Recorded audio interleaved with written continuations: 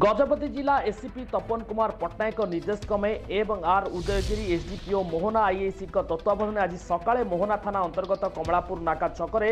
ମୋହନା ଥାନାର SI Pinku Murmu police କର୍ମଚାରୀ duty କରୁଥିବା ବେଳେ ଯାହାର ନମ୍ବର ଥିଲା JH zero two M seven nine seven ସିକ୍ସକୁ ଅଟକାଇ ଖାନ୍ତଲାସ ନେବାରେ ଉକ୍ତ ଟ୍ରକ୍ରୁ ଅଠର ଗୋଟି ଗଞ୍ଜେଇ ଭର୍ତ୍ତି ହୋଇଥିବା ବସ୍ତା ଜବତ ହୋଇଥିଲା মোহনা অতিরিক্ত তহসিলদার তথা এক্সিকিউটিভ মাজিষ্ট্রেট আশিষ কুমার প্রধানক উপস্থিতিতে সমুদায় গঞ্জেই বস্তাকে ওজন করবার সমুদায় গঞ্জেই মূল্য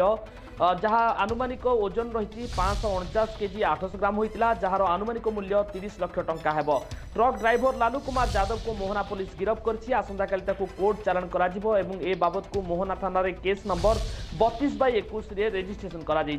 মোহনা থানা অধিকারী সুজিত কুমার নায়ক তদন্ত করবার ગજપતિનું દેવાશીષ કાજીંકો રિપોર્ટ જે ફોર ન્યૂઝ